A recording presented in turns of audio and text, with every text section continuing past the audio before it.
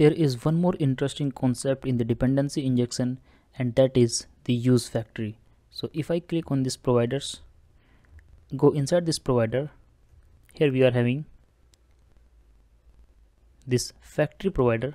Let's see what we have over here. So in this factory provider we need to provide of course the provide and this is called as the token. Now let's see what we have in this factory sense provider we have the implementation over here. And here we have this use factory. And this time notice that this use factory is a function. We also have the DEPS and this is basically called as the dependencies. If we need to provide any dependencies in this use factory then we define all of them over here. And this use factory is a function. It means this factory provider needs or expect an function let's try to learn how can we use this use factory. Before implementing the use factory method let's understand what is the need of this use factory. Let's say you have a scenario where you need to apply a logic before creating the instance of a service. Then in that scenario we can use this use factory. Let's see how it will work. So i'm going to apply this logic on the counter service. As of now in this application we have created two counter services the first is this counter service and the second one is the counter to service. So here is the code this is the counter service and this is the counter to service. Now let's go to the home page of this application. So here we are in the public components then the home and this is the home component. Over here we are using this counter service. So far everything is working fine.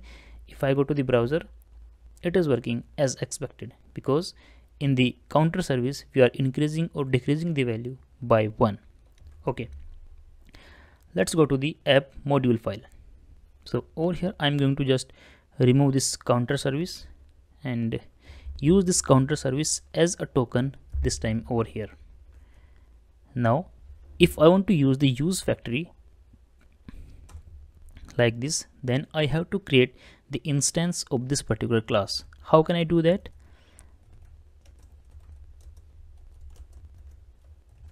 like this. So here you can see we are passing a function and in this function we are creating the instance of this counter service. If you will test the feature on the browser so far it is working fine and we are changing the value by 1 if you write your code like this then there is no difference in writing your provider with this entire line or just using this counter service like this. And this time I can comment this line. So both of them are actually same. Now let's see when the change comes. So at this time I'm having two services. And let's say based on some condition I want to create the instance of these services. Let's say I have one more service that is the test service. And in this test service I want to create one property first. Let's say it is status and it is boolean type. And the default value is false. I have a requirement where if the value of this status is false then I want to create the instance of the counter service. But if it is true then I want to create the instance of the counter to service. Let's see how can we use that. This time I have to modify my logic over here. And because we are using this use factory function and over here we are not passing any parameters this time we have to deal with the dependency of this test service and this particular field. So we have to pass this test service as a parameter over here in this use factory parameters. So let's say I'm writing test service just define the name like this and here I can write my condition. What is the condition? If the test service dot status if it is true then I want to create the instance of this counter service. But if it is false then I want to create the instance of the counter to service. Perfect. Now let's save all the changes and just go back to the browser. Over here you will notice you are getting some error. Let's deal with the error. Here it is saying that cannot read properties of this undefined reading status. So basically it is trying to read this status and it is undefined. It means as of now this application does not know anything about this test service and we have to provide this test service over here. How can we do that? If you remember there was one more property with name deps this one.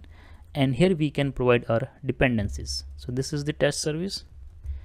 I can provide it like this over here. So what we are doing we are basically using this counter service as a token and in this counter service we are using the use factory method. This is the use factory method. This use factory method has a dependency on this test service. So we are passing it over here in this deps array. And we are using this test service over here by using these parameters. Based on this parameter we are creating the instance of this counter service or this counter to service. If this value is true then we will have the instance from this counter service if its value is false then we will get the instance from this counter to service. Let's go back to the browser. And again we are getting an error that there is no provider for the test service. So this is the test service that we want to use here. Let's define it in the providers array as well. Save the changes. Here you will notice that the error is gone and we are having the feature over here. If I increase the value you will notice that we are getting it by 2 2 4 6 8 why? Because the value of that status is false. That is why we are working with the counter 2 service.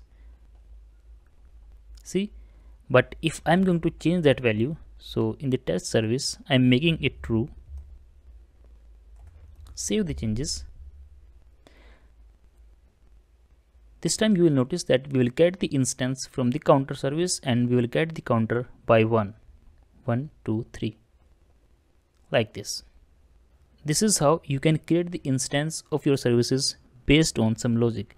And because this logic is just a function, so you can extract it from here and you can place it at some other place.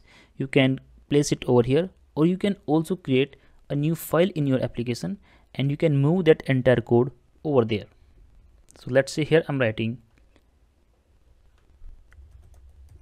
counter factory dot ts. And in this one i want to extract this entire code. So i can cut it from here go back in this file just paste it and let's define it with a variable. So here i'm writing const counter factory and let's import all of them like this. So I want to use it in some other file so I have to use the export keyword.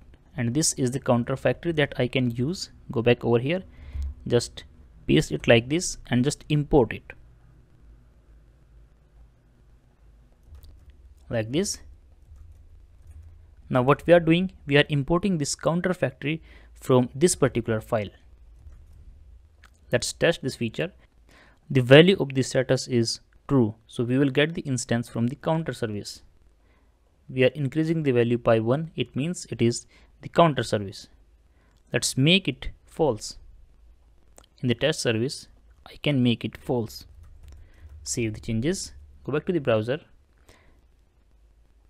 And this time if I increase or decrease the value you will notice we are getting it by 2 you can also extract it further. So basically if you want to extract only this particular code then you can do that also.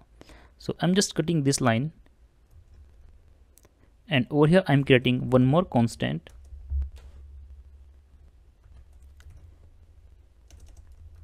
And just put it over here. And we can simply use this particular constant at this place. So again we are organizing our code in the better way. Save the changes. Go back to the browser. Again it will work perfectly fine what is the benefit of creating these variables separately? If you want to use it at some other place then you can use them without defining multiple times